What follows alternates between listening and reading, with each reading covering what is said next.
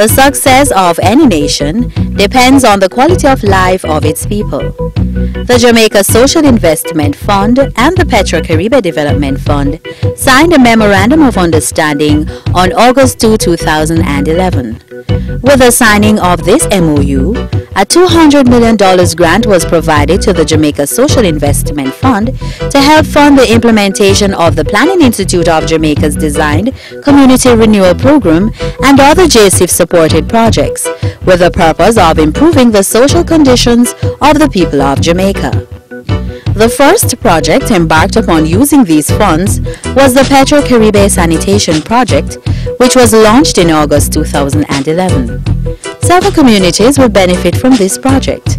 These include Denham Town, Hannahtown, Tivoli Gardens, Jonestown, Rosetown, Fletcher's Land, Kingston Central, that is Red Town, and Allman Town. For the communities of Jonestown and Rosetown, the communities were constructed by Food for the Poor under JSIF supervision. Rosetown does not have a main sewer system. As a result, the rebed system was used for waste treatment and disposal.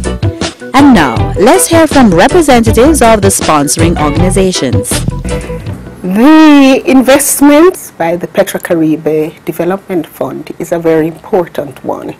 It is very much consistent with the initiative which seeks to improve the lives of the poor. And we have allocated some $130 million to uh, upgrade the sanitation facilities for some 2,000 residents in the communities. Uh, it's very important for us because it is also taking care of basic human needs and improving the lives and welfare of the persons in those communities.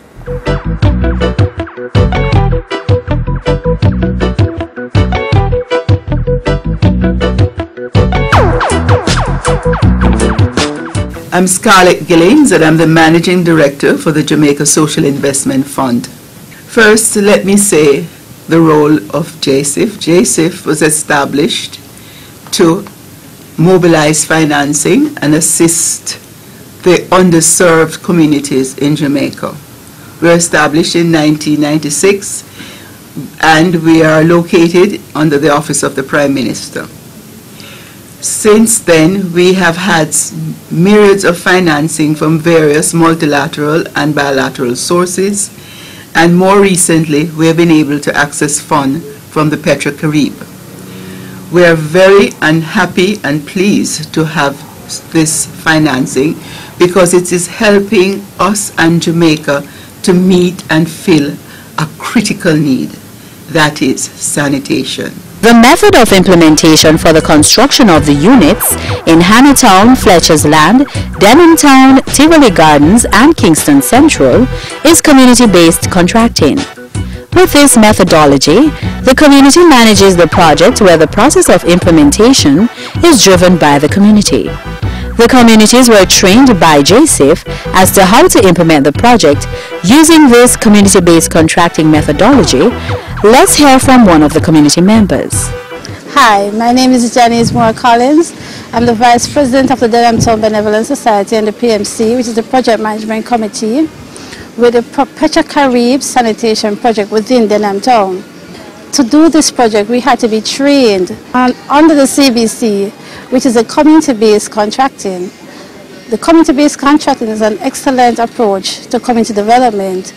This project has trained us in procurement policies and other details to, up, to run this project on our own, supervised by JSIF of course. However, the community-based contracting has created so much employment where persons have been able to pay their bills and to take care of their family because of this type of contract project going on within the community.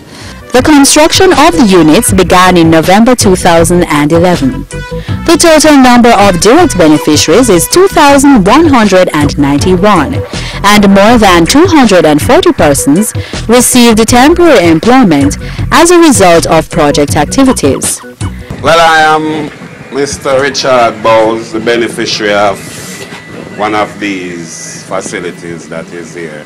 And I want to say I'm much appreciated of this kind of venture because years gone by, as you can know that this community is a community that is lack of facilities to use, be it, as we, we, we would say, bathroom facilities. Sanitary convenience is a big and major issue to our community because disposal waste, some people dump it in the gullies, some tie it in the bags, and then just toss it all over the place. And then you know that causes a, a, a, a, bad thing to the environment. See me I say? So I wouldn't mind if this initiative could go out right across the island. There's a lot. When you come into a yard, this isn't could have been called a big yard, where you have uh, over 23 families. If the camera could Joshua and the building, and uh, we are the one that keep it maintaining. Hi, my name is Teresa. I'm living on Pink Lane in the Tivoli Garden Division. We didn't have any proper toilet, bathroom. Most of the people had was to use whatever, wherever. You understand? Now we have some units, new units being built that are properly made. They are excellent, good bathroom, tile, good seating, sink, outside wash basin, banana light, sort out. Hot, hot, hot, hot. We love what we are. The project also improves environmental conditions by reducing the quantity of untreated sewage discharged into the aquatic system. The sustainability of these units is an integral part of the implementation process for the Jamaica Social Investment Fund. Therefore, like many other JSIF projects, a maintenance component is associated with the project. Direct beneficiaries participate in a maintenance and hygiene training exercise that equip them with the skills for maintaining the new facilities. The training is executed by the Jamaica Social Investment Fund along with various agencies such as the Ministry of Health, National Water Commission and the Jamaica Public Service Company. Some 158 sanitation units will directly impact some more than 2,000 residents in these seven communities, of which many residents are singing praises.